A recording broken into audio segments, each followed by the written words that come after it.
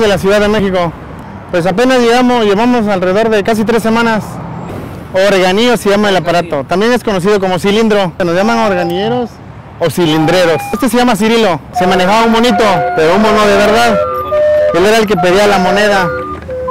Eh, pues ya le ve que los monitos se mueren eh, y con eso de las leyes de los animales, pues ya no se puede andar uno. Que esto viene de una herencia familiar. Todo esto, todo este trabajo del organillo casi viene siendo familiar.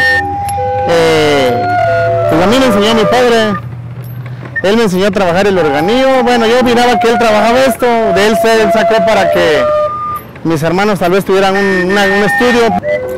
Este data ya de más de 100 años. Se cuenta la historia que llegaron alrededor de 500 aparatos a la Ciudad de México para una, una boda que tenía preparado el presidente en ese entonces.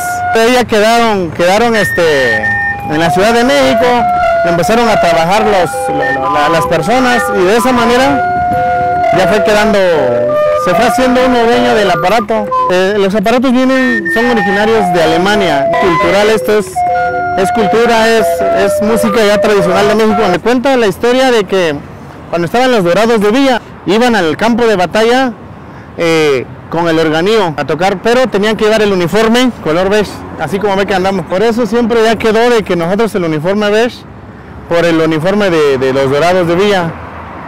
De ahí en adelante ya todos los organilleros manejan el, el col- color beige, porque se cuenta de que si no iban uniformados los mataban, pues los confundían con el enemigo. El aparato trae ocho canciones, trae ocho canciones.